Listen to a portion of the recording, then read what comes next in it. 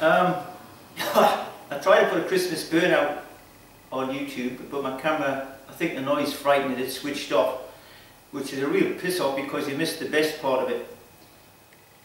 As you can see by the smoke, I was halfway through it and there was a hell of a bang.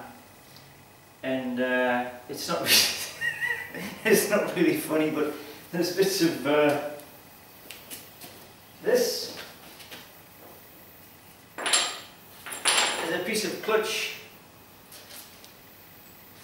This looks like a starter bolt. This gets worse. This looks like a piece of bell housing, which isn't looking good.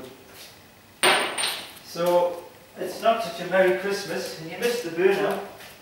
But wait, there's more.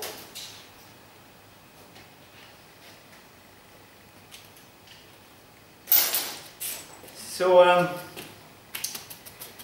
Christmas Eve is not a happy one for the Audi department. It's severely lots of bits under there. so um, if anybody wants to buy a Audi, needs an engine, say 10 grand, take it away. Most of the work's done, but it didn't like the burnout. So um, happy Christmas and I'm sorry the camera didn't catch the action, but it's totaled.